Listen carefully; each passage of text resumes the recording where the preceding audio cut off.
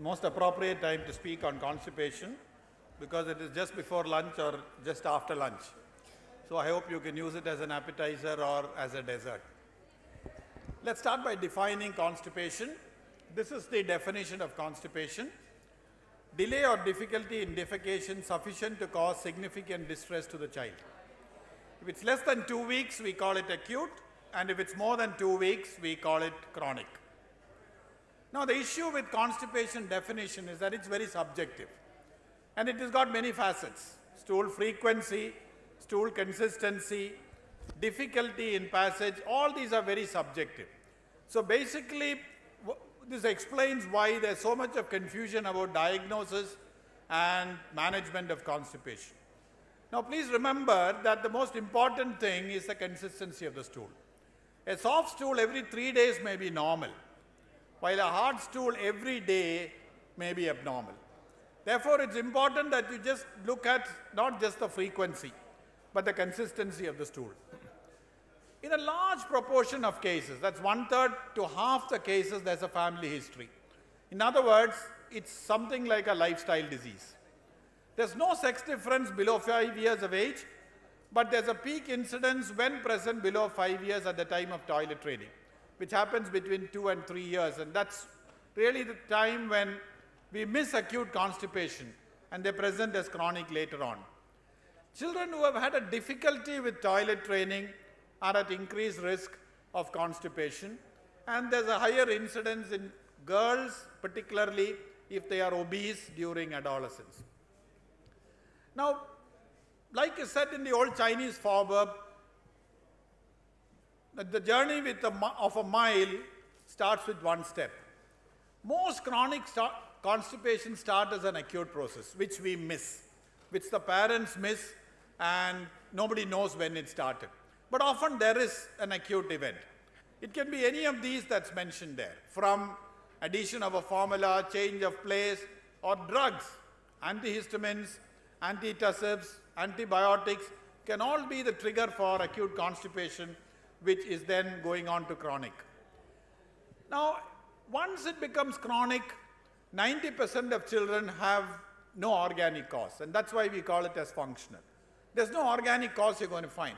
In just less than 10%, you're going to find a surgical cause or a medical cause. Most of them are very rare. We all look for Hirschsprung's disease, but if it's not an infant, it's a waste of time. Anteriorly placed anus, spina bifida is often missed, so please have a look at the spine. Drugs, particularly any drug that you give on a long term, a tethered cord, uh, these are the commonest causes of chronic constipation. All children, you must take a history.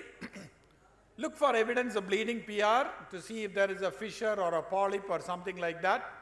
Palpate the abdomen for a fecal mass. It's important because we have to disimpact that fecal mass if our treatment of chronic constipation has to succeed. And often we forget this disimpaction. That means the hard stool that is there has to be removed. There's no way you can give any treatment from above which can make a hard stool soft. So you will have to disimpact, and this is something that I want to stress. Please remember to disimpact if there is a hard fecal mass palpable. Inspect the anus always. Don't do a PR, but look at the anus, the position, the cuts, perianal inflammation, and a whole lot of things, and examination of the spine. Now there are four components in a functional constipation. One is poor luminal content. There's less fiber, less volume inside the gut. Second is slow transit time. Intestinal transit is very slow. Therefore, it takes much longer in these children for the, the food to reach from the small intestine all the way up to the distal rectum. Intentional withholding. Children often don't have a regular habit. So they just withhold their stool and the colon absorbs the water from the stool and the stool becomes hard. And lastly, dyssynergy, which basically means that when the rectum contracts, the anus should relax. In these children, it doesn't happen. When the rectum contracts, the anus also contracts. In all children with functional constipation, all these four components are operative. It's only a question of what percentage is each. And therefore, you will need to tackle all these four components of functional constipation if you're going to treat children with that. This is one slide I want you to remember, red flag signs in constipation. And these are the only children who you need to investigate. None of the other, none of those others which constitute 90 or 95 should you investigate. These are your red flag signs. Delayed passage of meconium, symptoms that start in the first few months of life or at birth, progressive abdominal distension or developmental delay. Hypotonia, neurological signs, blood in the stool, perianal disease, and if there's fever or weight loss, we are looking at a systemic cause which explains the reduced intestinal motility. What are the do's and don'ts? Anal inspection is a must, but no way of putting your finger inside. Investigations are not needed as a routine. Look for associated urinary tract infection because it often, a fecal mass presses the, the, the, the, the distal bladder end and causes retention. Reassure parents on the safety of laxatives, very important. Because it's a general belief among parents that laxatives are not safe.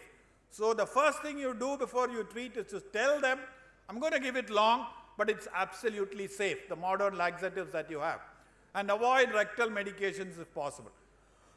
Most of these children are scared because it pains. The, the act of defecation is painful. That is why they don't pass stool. So if you try to do a rectal examination or put a medication, you're only going to worsen rectal dyssynergy. So inspect the anus, don't do anything more at the anal orifice. Constipation is a clinical diagnosis. And there are only three investigations that are thought of, but they are all when you suspect a Hirschsprung's disease or a neuronal intestinal dysplasia. In other situations, you do not investigate. Now, a plain X-ray is quite good. Up top, you can see the dilated bowel loops with no pelvic gas. In the bottom one, you can see dilated bowel loops and the pelvic gas. The shadow goes all the way down to the pelvis. Look at the barium enema on the same child. Up, you can see it going all the way. You can see that segment that's there. Same thing as that. It's cut off below that. And in the bottom, you can see it going all the way down to the sigmoid. That is Hirschsprung's disease. And this is functional constipation. And often a plain X-ray can pick it up if you have a doubt. And this is what that child's peroperative picture is. And obviously for habitual constipation, I cannot demonstrate a picture to you. How do you treat chronic constipation? Parent and patient education is important. Cause and contributing factors, the fact that it takes many months. Up front, you must tell them on these two things. One, treatment is prolonged and laxatives are safe. And third, laxatives are not the only answer. It's only one of the five steps that are required in the treatment. How do you disimpact? I told you there's a fecal mass, it has to be removed. Oral route, you can use a peg. If it's a rectal route, in infants, you use a suppository. In older children, you can give a soft enema, but that's only once and not repeatedly. Digital evacuation is basically not needed in our country because they don't come so bad, whereas abroad, it's something that we have done routinely. Diet modification is important. You're all aware of this. Plenty of fluids, remove junk foods. Fiber requirement is calculated as age in years plus 5. So you can tell them how much definite to take. It's not take a high fiber diet or take a lot of fruits and vegetables. I want it to be quantitated. And if you go into the net, you can get fiber content of various foods. This is per 100 grams of uncooked food. All vegetables and fruits are available. If somebody wants, I can give it to you. But there are plenty of them, and you will find often that things you think have a lot of fiber actually do not have fiber. For example, banana has only 1.8 grams. Apple that everybody gives is only 3 grams. And for a 10 kilo, I'm sorry, a, a 5 year old child, you have to give 10 grams of fiber. So quantitate the fiber and tell them how much to give, rather than just say give a high fiber diet or high fruits and vegetables. Lack of fiber is a contributing factor, but that's not the only one. Inadequate fiber plays a role, but it's not the only factor. And you must remember that diet changes should involve the whole family because one third to one half of patients, it is a family problem. Now I want to stress on this defecation posture. Look at this, this is the European toilet. And this is the reason for all this constipation in our country. Because it's, a lot, it's very fashionable. When you sit on a European toilet, it's at a 90 degrees. And the puborectalis muscle actually pulls it like a sling, the rectum, and you will often find it produces an obtuse angle. Whereas the old natural Indian position is more physiological. And if you can see, it relaxes and strengthens the rectum and the rectum and the anal canal is in a straight line. Extremely important. If you child put a child on a western toilet and the, and the legs are hanging by on the side, you're closing the anal opening. The child strains against a closed anus. So therefore, one of the things that you do is to switch them from a European to, to an Indian toilet. One to two day after meals, per day after meals, squatting position for five to 10 minutes. And if you only have, most families now only have European toilets, you need to put what we call as a footrest. Put a rest so that you are actually creating that angle as I have shown in that picture.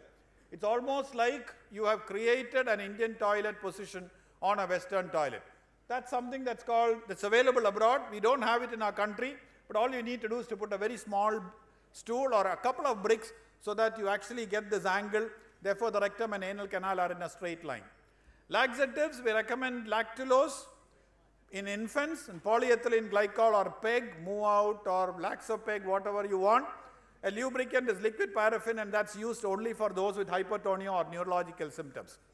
And the recommendation is to give it for six months after resolution of symptoms and then taper and stop in three months. Do not use the conventional substances like castor oil and bisacodyl. I'm going through a little fast because I have to catch a train.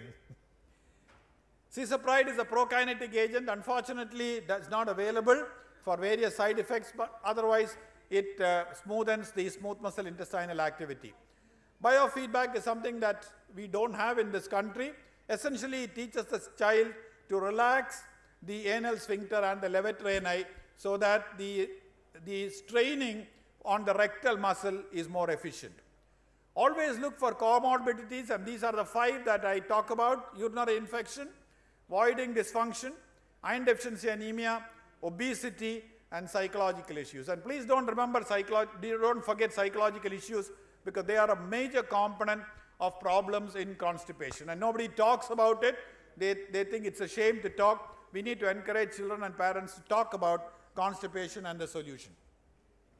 Success of treatment depends on patient compliance, and that means essentially it, it is how much the pediatrician explains. Short term results are good, but relapse rates are quite high. Here is the flow chart that I'm giving you. So if your neighbor has been sleeping, please wake him up. Red flags, if it's present, organic, and look, I've given you the five cause. No red flags, it's functional. See if there's a fecal mass, in which case disimpact, with, and then put the child on laxative, training, toilet training and posture, and diet changes. Below one year lactulose, more than one year polyethylene glycol. If there is a response, taper and stop after six months. If there is no response, check compliance, and then I think you should send it to a pediatrician whom you don't like. So how do you manage constipation? Ensure there is no organic cause, diet, fluid, toilet training and posture, osmotic laxatives in small doses, check compliance, increase dose of the laxative and a lubricant, no response, taper after six months and stop. Sorry, if there is response, taper and stop after six months. If there's no response, get a second opinion. You, we are missing something. Ladies and gentlemen, thank you very much.